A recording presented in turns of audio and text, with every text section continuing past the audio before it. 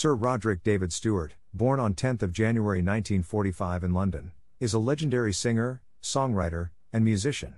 Known for his distinctive raspy voice and charismatic stage presence, Stewart has enjoyed a successful career spanning over five decades. With a blend of rock, pop, and blues influences, Stewart has produced numerous chart topping hits, including Maggie May.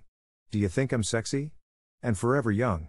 His ability to connect with audiences through heartfelt storytelling and infectious melodies has made him a beloved figure in the music industry. His flamboyant style and love for fashion have also garnered attention, making him a cultural icon. Beyond his musical achievements, Stewart has been honored with inductions into the Rock and Roll Hall of Fame twice, both as a solo artist and as a member of Faces.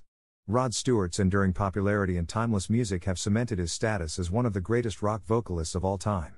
His contributions to the music landscape continue to inspire and entertain audiences across the globe.